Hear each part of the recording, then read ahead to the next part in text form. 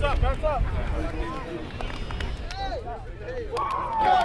again, ladies and gentlemen, for the champions of the 2009 USA Rugby National Sevens Tournament, Belmont Shaw.